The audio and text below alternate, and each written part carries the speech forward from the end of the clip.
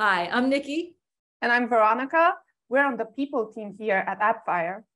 In this series, we talk with our fellow Fireflies to learn more about their AppFire why and what's most important to them. Welcome to Voice of the Flame. We're a product company with hundreds of helpful apps, but these stories aren't about our products.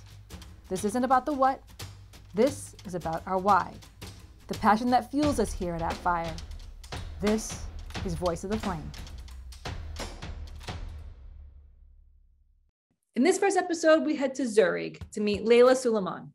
Starting as a trainee in 2020, Laila has grown through three positions in two years. After just seven months, this Firefly quickly outgrew her training wings to become a strategic business analyst. She's certainly no stranger to rapid speed.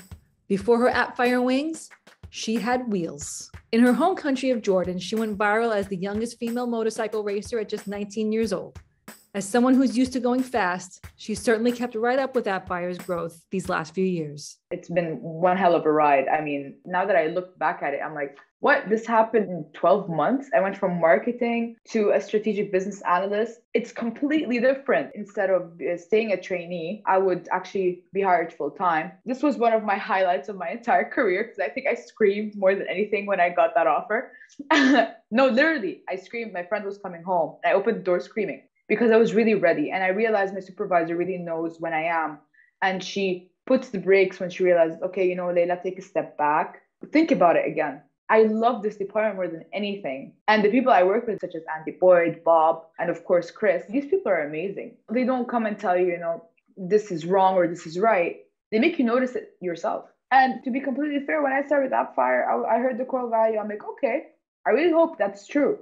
And then the first situation happened, and the second, and the third, and the fourth, and the fifth. I even tell my parents, I'm not leaving this company. Because they apply core value number one, they know where to put people for their strengths to really show. It's a give and take relationship between us and our employers and our team and the company and the executives and the people that I work with in the team.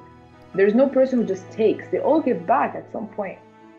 At AppFire, it's not just our products that make this company great, it's our humans.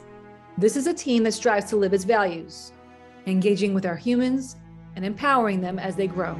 It's how we continue to build the flame.